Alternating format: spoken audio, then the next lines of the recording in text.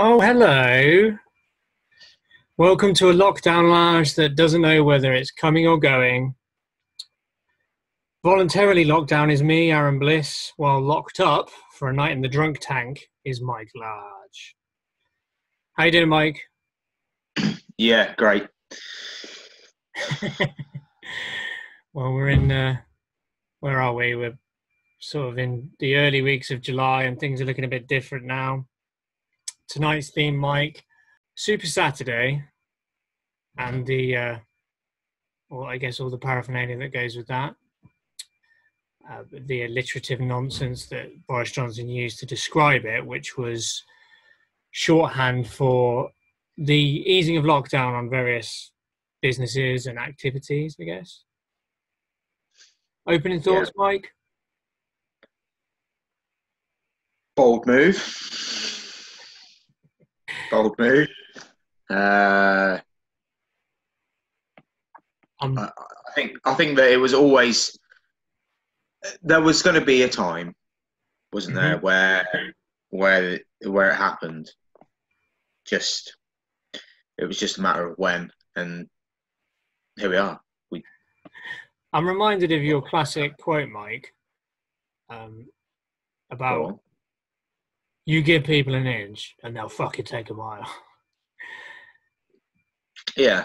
I take it that's what I think I think that's what you and probably me to a certain extent thought was was the inevitable consequence of Super Saturday and the continual easing of lockdown. I mean, we hmm. should say as well that the the whole Super Saturday stuff was limited to England, so the other devolved nations have not eased their restrictions in it on anything like the, the um, same level.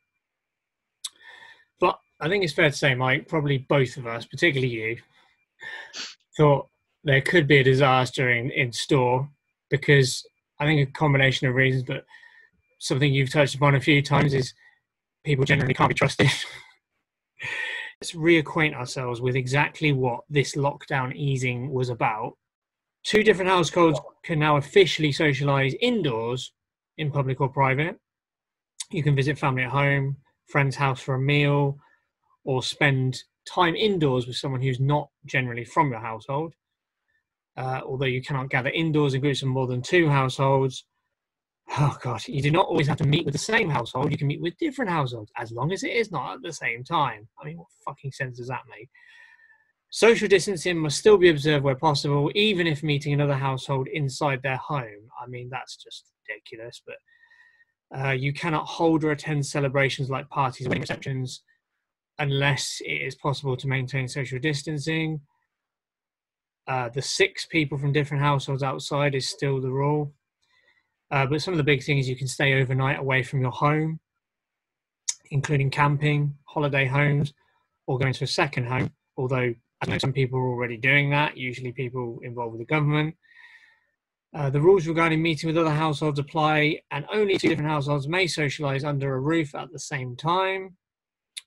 Uh, again, advising people not to use public transport where possible. Uh, obviously, different rules for people shielding. So, restaurants were allowed to open. I believe they were supposed to open just exclusively al fresco, or at least have minimum social distancing in place, including things like one way system, things on the floor. Pubs and bars, obviously, we know uh, I was under the impression again that they can only do table service outside, but apparently that wasn't the case. Uh, cinemas, uh, visitor attractions like museums and galleries, uh, bingo halls, outdoor skating rinks, amusement arcades, and other entertainment centres and model villages. Uh, things well, like we do know. Do know some people would be happy about that, person in particular. Yeah. Anyway, yeah. Sorry. carry on.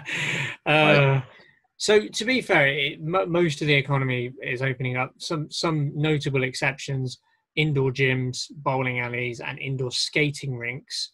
Oh, and indoor swimming pools. In fact, I think all swimming pools um, are still still forbidden. Although I'm sure that won't be too long. Hotels, again, things like hotels, campsites, and caravan parks are allowed to open, but I'm sure they've been pressed upon the need for uh, obviously very rigorous hygiene and social distancing where possible, etc., etc. And of course, outdoor gyms are allowed to open, libraries, community centres, places of worship, all these kind of things. Now, something, Mike, that I know you've been taking advantage of is the barbers and hairdressers. Is that right? Fucking right. Yeah. Fucking uh, right. I'm sure as everyone everyone will notice, you've gone from you, you've you've ruined your your Alisson Becker look, perhaps because you've already won the title now. So you've lost your edge, basically, a lot like the actual Alisson Becker. but yeah, you're looking sharp, Mike. I'm sure. Thanks. Yeah, I'm sure everyone appreciates your new look. So, are, are you happy, Mike? Obviously, you've taken advantage of the uh, the hairdressing thing. Anything? I else? had to, yeah. No, just just the haircut. I needed to get that big, thick, dark mop that was on my head off of my head, uh, especially if the weather is going to start getting nice again. So that's true. Uh, depending on when you watch this, uh, we've just had a fairly shit week of weather. Preceding that was a fantastic week. Um, weather-wise, it's supposed to get good again. So I can't, I can't deal with the, the heat with a big fucking mop on my head. However heat as it is, I had to get it done. I, I, as soon as uh, my barber was was taking uh, was like taking appointments, open for appointments. I was like, get get me in anytime, any day, don't care. Fucking first one, get me in. Yeah, and he was like, right, I'll see you at three thirty a.m. You're like, yeah, no problem. I've done it. I've done it. But um, yeah, so yeah, mop chop so, today. Happy with that. So you weren't t- were you not tempted at all to head down Wetherspoons, six a.m. on Saturday? No. No. No. Do you know really. anyone? Do you know anyone who, who was like really digging that up and yeah. going to get absolutely fucking trolley the second that the boozer opens? Yeah, I do, and so do you. Uh, yeah, but no, I just um, don't. You know, I, I've, I've touched on it before. I, I can't wait for a vaccine. Yeah, I can't wait for a vaccine. Just, I'm so excited. No, I can't wait to be able to go to a pub, ask for a beer. Sexy lady behind the bar is going to pour me a pint, pass it over the bar along with her number, and then, and then you know, there we go. Like I can't wait. I, there is something I miss about it, and probably I think you know some of it's the social stuff, and some of it's just because I've been told I can't, and obviously, you know, although I am superhuman, um, godlike, some may say, in many ways, I am still human. I know. Try and remember. So, you know, like everyone else, when you're told you can't do something, it kind of makes you want to do it a bit more. Um, but yeah, and, and as, as great as I think that'll be, um, I wasn't in any rush to run down to the local tavern on uh, on Saturday. I just yeah, no. yeah, no, I'm I'm I'm I'm on a similar mindset. Um, did you? Um, so I think it's fair to say, Mike. I think we should. We always trumpet when we're right, particularly about stuff about human nature. We're always quick to with our withering hot takes on these kind of things. I think maybe we should we should hold our hands at this time. You know, things things didn't go as badly as we potentially projected. I mean, people were thinking of like. I mean, to be fair, when I was reading reading about the aftermath of uh, Super Saturday, you know, people saying, "Oh well, you know, the the catastrophe and the widespread riots and disorder that people were predicting haven't happened." And like, I don't remember us ever really saying that. It was more like there's going to be a bunch of puffins who are not socially distancing and probably spreading the virus because they've completely forgotten there's a pandemic because the government says they can go to the pub, so it's like, yeah, let's, let's, let's, and all like crammed in together, um, spreading the filth, whatever. Now that actually did happen. Maybe, maybe not Yeah. widespread. I mean, there were famous pictures from um, street in Soho, weren't there? Yeah, I mean, come on, it happened. It happened fucking course it did. everywhere. I think he didn't. He's stupid. And uh, I think because because I think it, it actually led to a statement from I don't know if it was the Met or just the General Police Federation.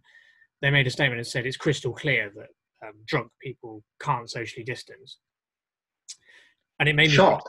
Yeah, it made, it made me think like, how much are you getting paid as a police chief? Because me and Mike said that like right off the bat, and we're not getting paid to say that shit. So I thought that was like bit Captain Obvious. Maybe maybe the name of the police chief was Captain Obvious, but that should have been very evident. that should have been very evident for the government. Surely, I mean, everyone knows that. In fact, we know that Boris Johnson knows that when when he announced it. You know, it's it's it's very. I find it very incredibly cynical for a leader to say something like, you know, picture opportunity with a pint in their hand. Uh, we need to. We, it's our, our liberation day. We need to enjoy this. We need to get out to the pubs and support our local breweries, taverns, whatever. And then, you know, a few hours later, just like, uh, we need to be sensible. I hope people remember to socially distance. And it, it's just it's quite cynical. And again, it plays into this whole idea that we've discussed before that I'm not going to labour the point of. But knowing, seeing the uh, the th- the um, scenes in in Soho, which we haven't seen widespread evidence that it happened everywhere, but obviously in big cities, you imagine it's quite likely that those scenes were repeated. I went to Oxford at the weekend on Sunday. Um, was walking around with the missus, and we walked past a few pubs. After a minute, I raised an eyebrow because people were sitting indoors, which I actually didn't think was allowed. Obviously, they they take you know. The, I'm not blaming the establishment. They taken certain steps, like almost all the windows were thrown open, but the people inside were sat on adjacent tables, no face coverings, completely relaxed. And I thought, mm, is that is that really in the spirit of trying to stop the spread of the virus? But I digress. Mike, do you? I was going to. I was going to say, Mike, knowing what, knowing what we know about human nature, what we've seen in Soho, what I've seen in in parts of Oxford, and what we know will happen. Yeah. Do you think at the moment we're we're we're almost in an Ouroboros situation? I don't know if you've heard the reference. Ouroboros is the snake constantly eating its own tail. Do you think we're that's Yeah. yeah, that's kind of where we are in terms of the virus? We're just eating our own tail all the time. um, I don't know. I don't know if I describe it that way. No? I I, You got a better I just think- oh, I can think of a few choice words for the way that we're handling it. Don't hold back. Uh, no, no, no. Look, like I said before, this um, next stage of relaxation with regards to the rules is always going to happen, and there there was going to become a time where and again I think we've we've said this before there was going to become a time where the economy became more important than people's lives and it very much wasn't the case to start with. And you know fair play. To me though it just wow. Oh, I think I think was it last week. I'm not entirely certain, but we we mentioned the herd immunity um, kind of uh, Yeah, approach. Yeah, and it's it, if it doesn't scream, you know, if opening pubs and stuff. Now I I'll, I'll admit I don't know off the top of my head what are kind of figures are coronavirus figures, what they look like um, recently and over the over the last couple of weeks or whatever. Have they gone up, down, or whatever? I, honestly, I don't know. What I do know is that it hasn't gone away, and whilst everyone in favour of opening pubs, and obviously I was in favour of uh, getting the hairdressers open. Fucking right. But then most people aren't pissed in hairdressers. Um, you know, and and to be fair, the the barber I go to, superb. Like really, really well organised. Um, really well organised with regards to how they work their appointments. Um, there, there was nobody else there when I arrived. Um, no, that's a, that's a that's a lie. One chap had actually was actually just going round the other way and, and leaving. I arrived straight in. Um, you know, barber there, full PPE, visor, the lot. Um, I, yeah, my face mask and all that. Um, and uh, it was all incredibly clean, tidy, etc., etc. That, for me,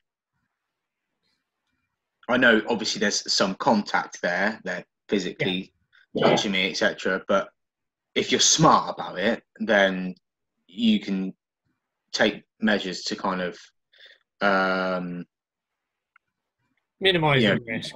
Yeah, yeah, yeah, yeah. Um, and that was, you know, and it was great and it was fine. And it was a, an environment which, despite it being a bit strange, um, certainly out of the ordinary, it was one where you felt like you could at least you could be you could be safe. Yeah. Um, yeah. Obviously, less safe than if you didn't go, and I obviously I'm aware of that. Like you know, but nobody's saying hide yourself in a room and never leave it. Um, unless you're vulnerable. Well, yeah, yeah. Unless you're well, even now it's not even vulnerable anymore. I think it's just. No, I mean, I, I have to admit, I, am I'm, I'm uncomfortable with that. I, I don't I don't know anyone who's actually medically vulnerable, but I've heard stories about people. They call them shielders, don't they? People who are shielding I think a lot of them are very uncomfortable with the government saying, you can go out now. It's like, on what basis? Yeah. What, on what basis are you letting us know? Why am I safer now than I was three yeah. weeks ago? Or, or, three months ago, for that matter? What? what? It, do you know what, Mike? Um, the interesting thing that takes us on to is perception. So, perception is generally driven through the gatekeepers of information, i.e., the, the uh, legacy media, the government, medical chiefs, these kind of things.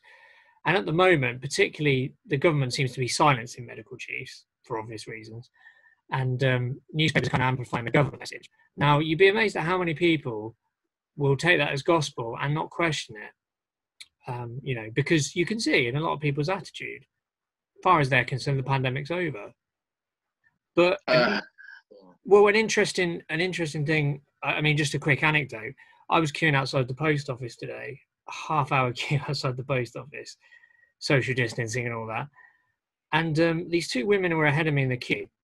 Now, when I go to the post office, uh, as far as I know, I mean, I've got a respiratory condition, so I don't, I really don't want to contract COVID. I try and avoid it. I mitigate my risks. And now my work is good because it provides us with PPE. So I have a face mask when I go to the post office, I am going to be in an enclosed space around other people. I wear a face mask. So I walk over there, look like a bit of a fool. It's like a surgical style face mask. It's not, it's not, not fashion statement or anything. But I stand in the queue with this face mask on. The two women in front of me are considerably older, middle aged, stroke, knocking on retirement age. So they're far more at risk than I am. They're not wearing anything on their face, they're, they're completely uncovered. I'm the one with a mask. You know, when you know when someone's having a conversation and they really you can tell that they're struggling for ways to maintain the conversation, but they don't want to leave it because, say, they're trapped in a queue. So they pull something out of their backside that they don't really know anything about, but they talk about it quite authoritatively, as if they do know Right. about it. Okay. So this woman um, was talking about face masks, and I kind of raised an eyebrow. I was thinking, has she seen me?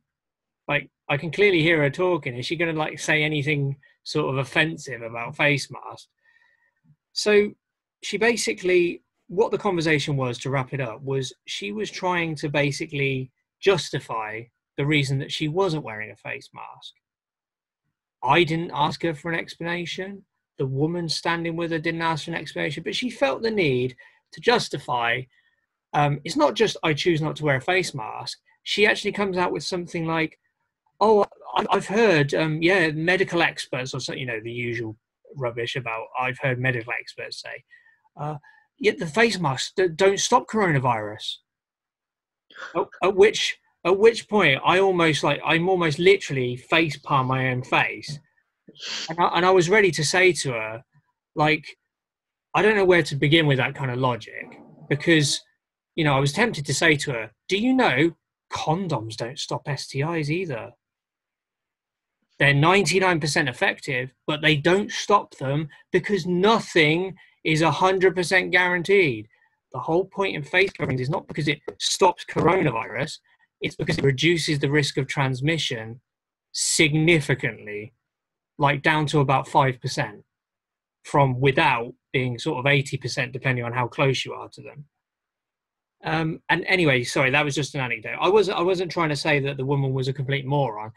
What i meant was how lazily people just pluck things out their backside and say oh i've heard this and i'm not wearing a mask because it's not effective right okay love yeah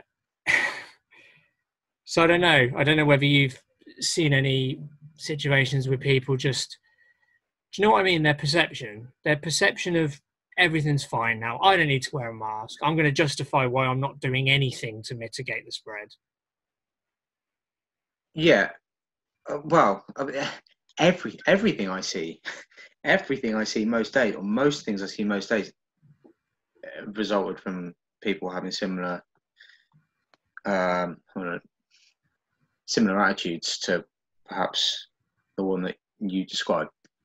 hmm People do, you you know, you are right. People do think that this is this is over now.